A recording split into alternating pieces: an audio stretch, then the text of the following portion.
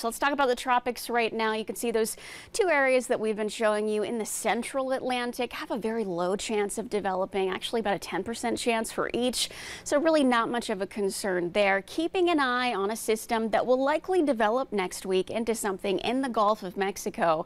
So we'll have to keep a close eye on this. As of right now, about a 60% chance of developing. And actually some of that moisture associated with this system could bring us higher rain chances toward the end of the week. And you can see that already happening here.